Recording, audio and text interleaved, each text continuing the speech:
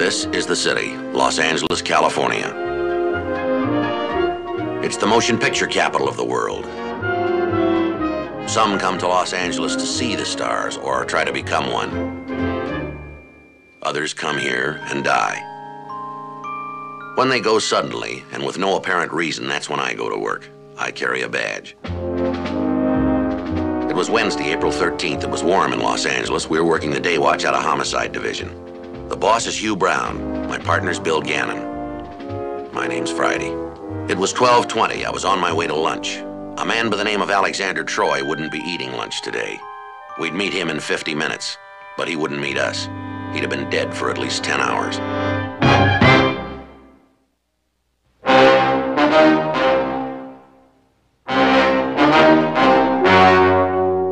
The story you are about to see is true. The names have been changed to protect the innocent.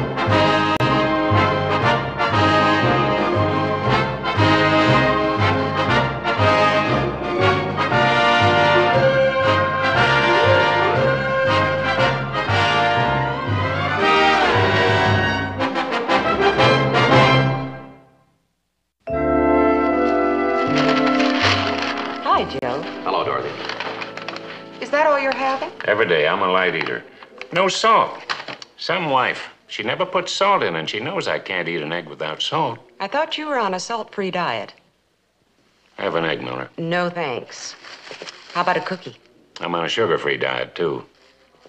What's the matter? Cafeteria crowded, was it? A mission of mercy. Your partner left his lunch on my desk this morning. I hate to eat alone. Yeah, she is prettier than Petrovich or Higby at that. Thanks, friend. Have a cookie. My daughter made them. Oatmeal and honey. Not bad. If you had a wife, I'd uh, give her the recipe. Now, that's the biggest incentive I ever heard for a man to rush out and get married.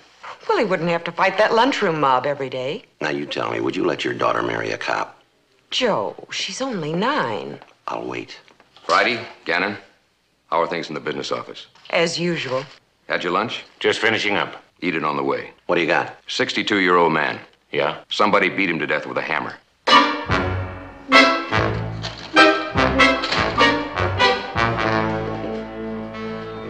One oh one p.m. Bill and I drove over to 17th Street. We turned north and headed for the 800 block. It took us nine minutes to reach the address, a two-story apartment building. There were six units on each floor. The dead man was in apartment 201.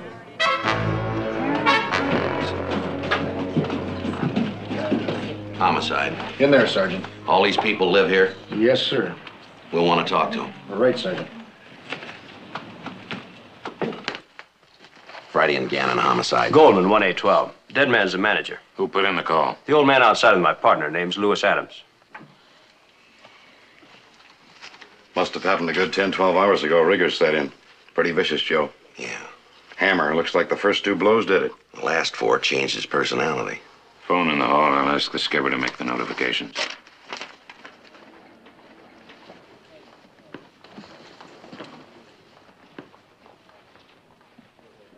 What's the victim's full name? Alexander Troy. Did you pick up anything on the name Fred? Not a thing, Sergeant. Broken piggy bank. Think that could be the motive? It's been done for less. Right, thanks.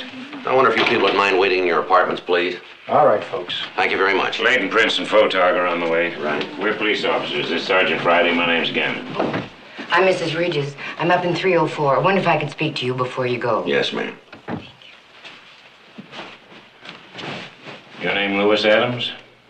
That's right. You live in the building, do you, sir? 202. You want to tell us what happened? Well, about 12:30 maybe I I knocked. Alex didn't answer, so I called to him. I know he's got to be in there. Every Wednesday we go to the cemetery. We put flowers on the wives' graves. When's the last time you saw Mr. Troy? Last night? Were you in his apartment? Oh no, sir. I just seen him here in the hallway What time was that? Do you remember? Around six last night. Was he alone or was someone with him? He was alone. Him and me, we don't have many friends. Him, he don't have no friends now. Did he know anybody named Fred, would you know? No, sir. Nobody I ever heard him mention. Did you ever hear him argue with anybody? You ever get into a fight with any of the tenants? Maybe somebody behind on their rent? Anything like that? Not Alex. He never threw anybody out that got behind in their rent.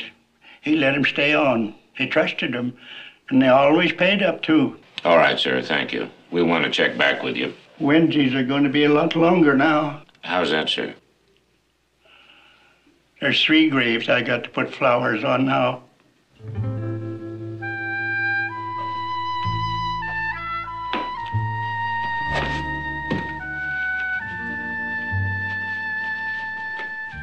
Goldman? We'll be up in 304. Let us know when that print man and photog get here, will you? Right, Sergeant.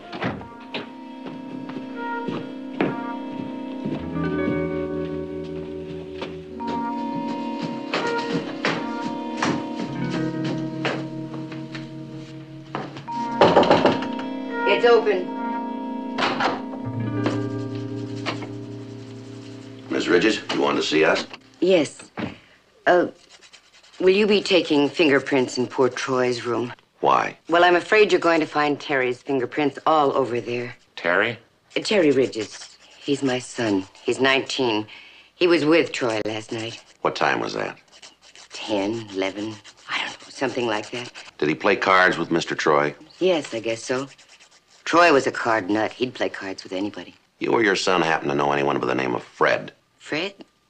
No, neither one of us. Where's your son now, Mrs. Ridges? He's working. He's a box boy at the Falcon Market. It's the one on the corner. You mind if we look around, Mrs. Ridges?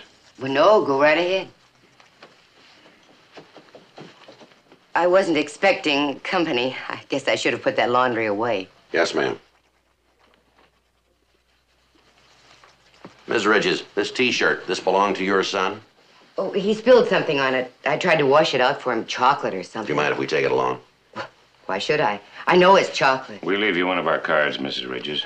Officers, would you let me know if it's chocolate or something else? Yes, ma'am. Either way. Mm.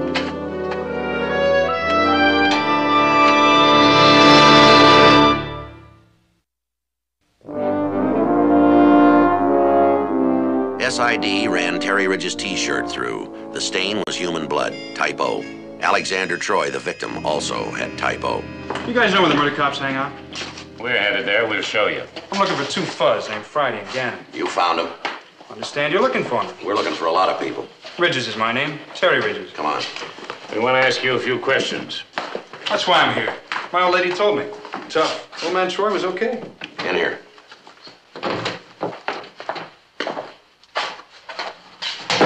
Sit down. Before we talk, we want to advise you of your constitutional rights. I'm a minor, Daddy. Minors have rights, too. Any statement you make to us may be used against you in a court of law. You have the right to remain silent. You have the right to the presence of an attorney. If you cannot afford one, one will be appointed before any questioning. Do you understand that? What's the difference? I got nothing to hide. Do you understand it? Yeah, yeah, I dig. I dig. What blood type are you? What am I, a doctor? How should I know? Let's say hot. What time was it when you last saw Alexander Troy? You want to know about the blood in my t-shirt, huh? When'd you last see Troy? 10:30, 11, something like that. Me and Chick. Chick? This barber. Lives in the building. This fella Chick, what's his full name? Chick's all I know. Ask him. Where'll we find him? Right downstairs in the lobby.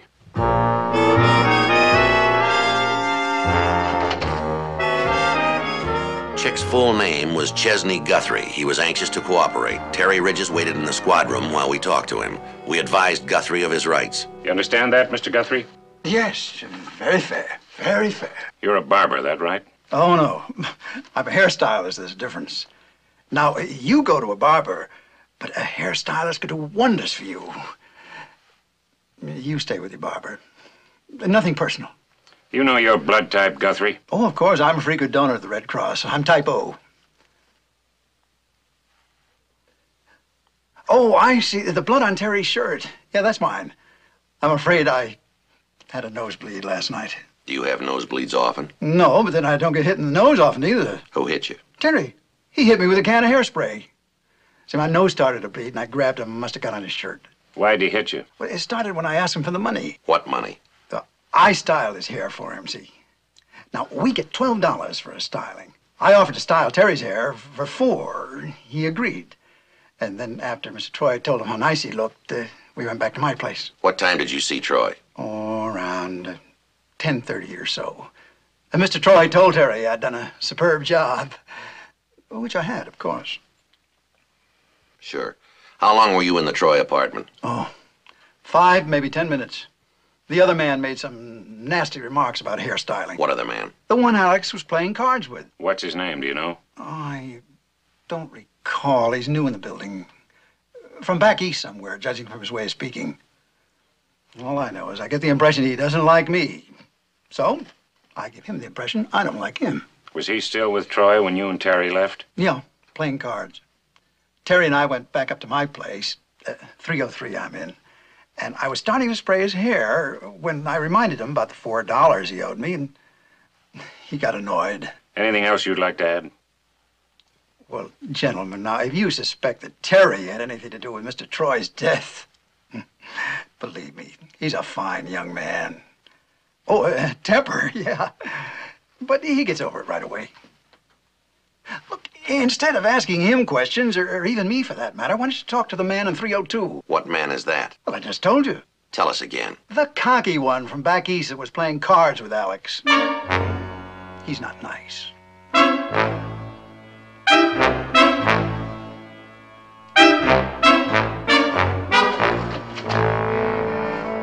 Three fifty-five p.m. We asked Ridges and Guthrie to keep us advised of their whereabouts. 4.09 p.m. Bill and I arrived back at the scene of the murder to look for a man named Fred in apartment 302. The door was slightly ajar.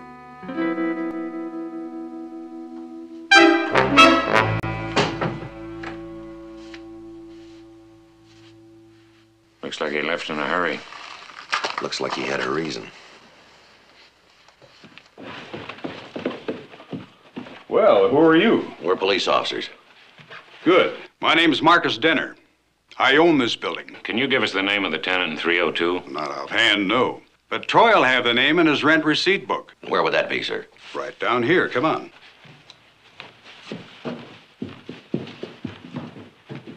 Hold it a minute before you seal it. Thanks. He kept it right over here in the bookcase. You know, I was here just last week picking up the rents. We deal in cash only. That's a sad thing. A sad thing. Well, that's gone. I Suppose you noticed that. What's that, sir? The cash box. Couldn't have been very much in it since last week. Would you know exactly how much? No, but I'll figure it up and give you a call. Appreciate that. There.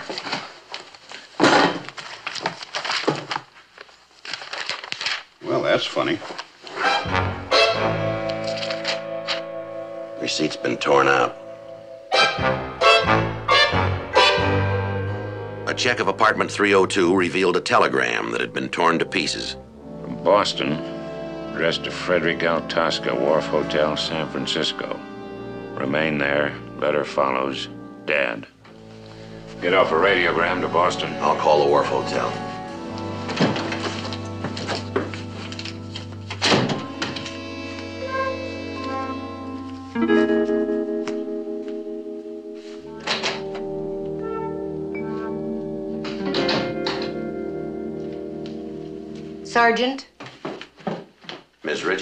My car, it's been stolen. When? All I know is I park it out in front every night, and I went down this morning and it wasn't there. It's a red Plymouth Barracuda, license number TVQ553. What year is the car? 1966. Does your son ever drive it? Sometimes. But I asked him, he thought maybe it was the finance company. I'm behind in my payments. But I called and it wasn't them. It's been stolen. I see. Can you get it back? We'll try.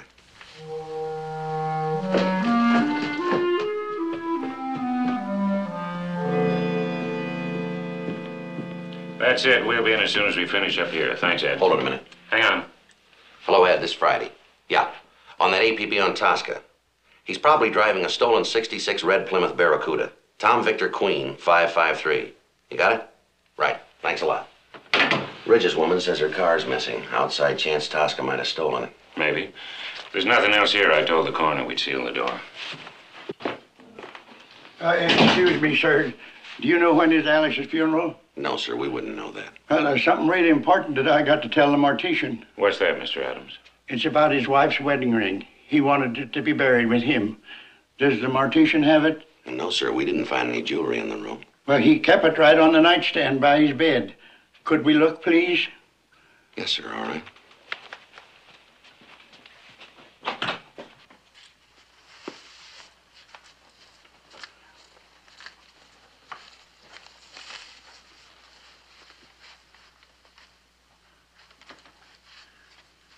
Can I touch this? Yes, sir, go right ahead. Oh, no. It's gone. He always left it right there in plain sight. Yes, sir. Could you describe the ring for us? Eh, braided gold with little blue stones. Who would want to do that? Steal a poor dead man's ring? What kind of a person would do that? The same kind who'd beat him to death with a claw hammer.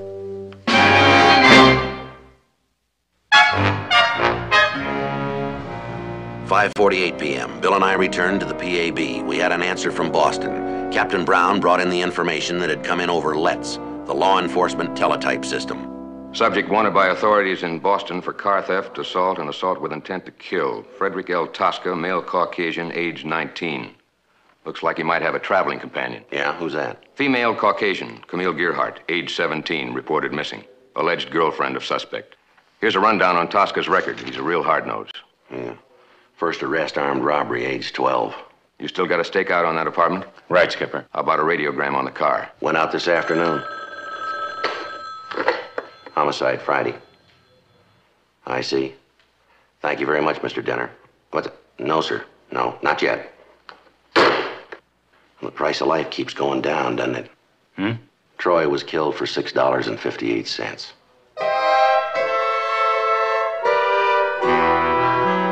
dollars and fifty-eight cents. Seven thirty-five p.m. Bill had gone home. I stayed to clean up some paperwork. It was a warm evening, so I walked across the street, grabbed a sandwich, and went home. When I got there, the phone was ringing. The Cottonwood, Arizona Police Department had our suspect in custody. The Gearhart girl was being held with him. 10:05 p.m. Extradition papers were made out. Bill had drawn the necessary expense money for the trip to Cottonwood, Arizona. Hey, we gotta move it if we're gonna catch that 11 o'clock flight. Yours? Don't be funny. Dorothy Miller's coming along to handle the girl. Where's your gear? Don't worry, I got it. Where? You wouldn't catch me carrying one of those spy cases. Where's your gear? Oh, come on, Joe. Toothbrush, toothpaste, razor, clean socks, clean underwear, clean shirt. You could have fooled me. Sure. You know, Joe, in all the years we've worked together, you still haven't learned What's that? how to travel light.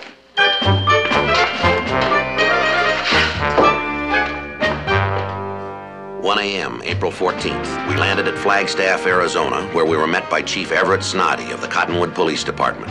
While he drove us the necessary 50 miles to Cottonwood, he filled us in.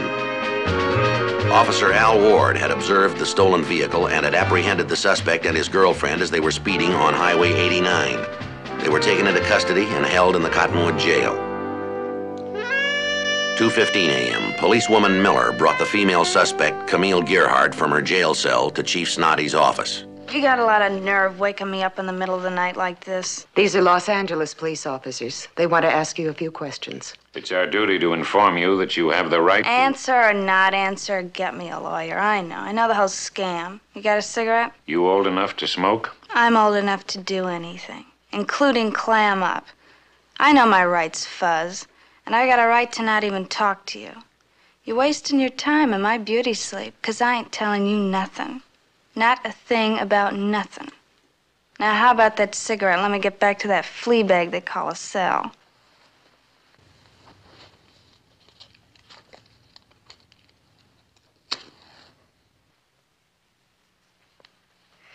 You got nice eyes. For a cop. And I'll bet your mother had a loud bark.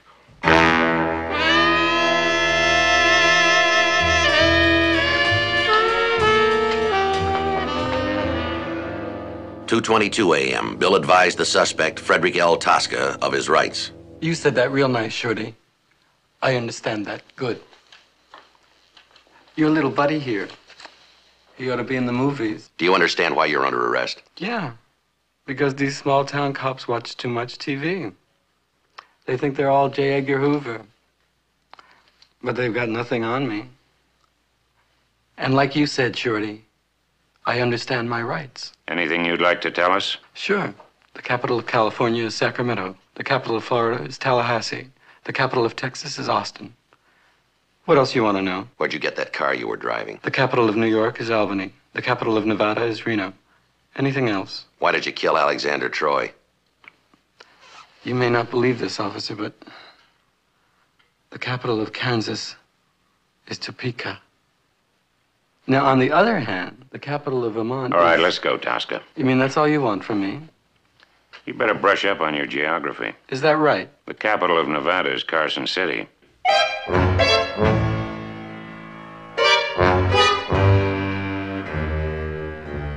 Eight fifteen a.m. Thursday, April fourteenth. We'd had four hours sleep, a quick breakfast, and had obtained a warrant to search the car Tosca had stolen from Mrs. Ridges in Los Angeles. The Cottonwood police had impounded the vehicle.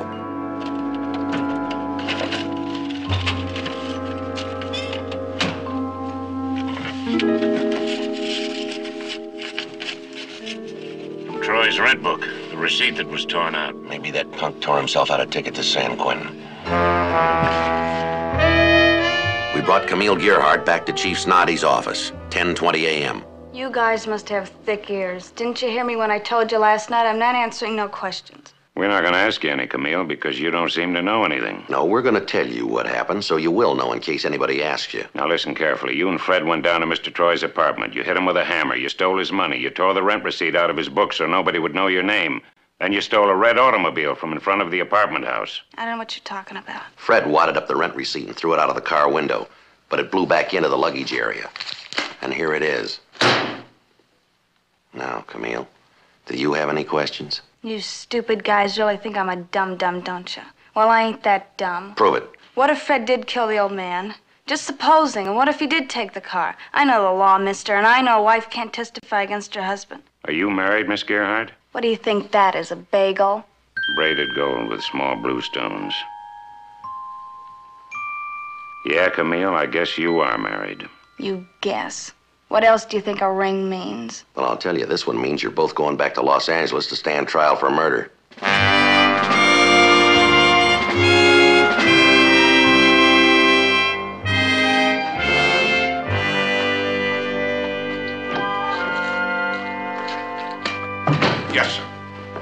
Yes, sir.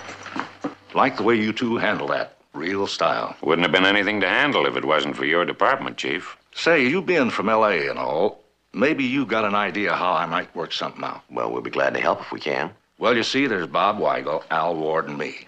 That's all there is. How do you mean, Chief? That's the whole department here. Three of us. I see. Thought maybe you might have a suggestion. On what? Sure is a tough problem to solve. What's that, Chief? I'm having a devil of a time trying to figure out a vacation schedule.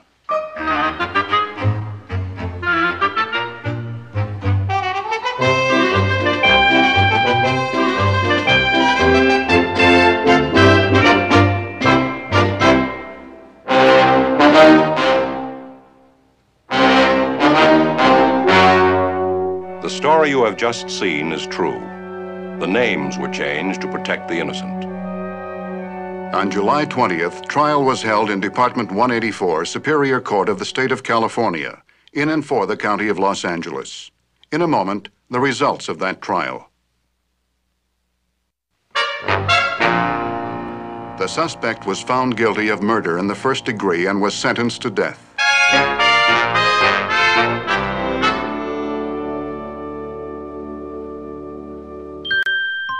The suspect was found guilty as an accessory to murder in the first degree.